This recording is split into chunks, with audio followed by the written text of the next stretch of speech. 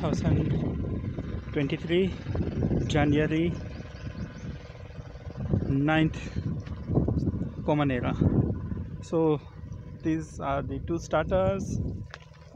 Uh, I have buried uh, one cable underground and another on the surface. So that's what you have seen it. Now my brother had uh, buried this uh, pipeline. Uh, he and my father did this thing. So for many years we had lost it. We were not using it. So when i buried the three phase wire we got it reclaimed it and it is working fine so uh, that will remove the hassle of uh, putting the pipelines and taking it back when we are tilling. So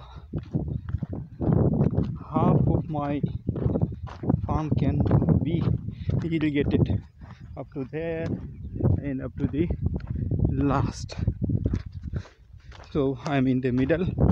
I can irrigate without any hassle without any problem. Just fill so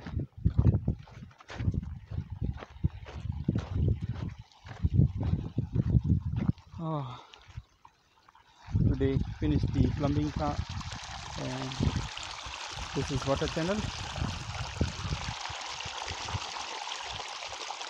i'm liking it so it goes all the way to the Erandi. Ah, that's it.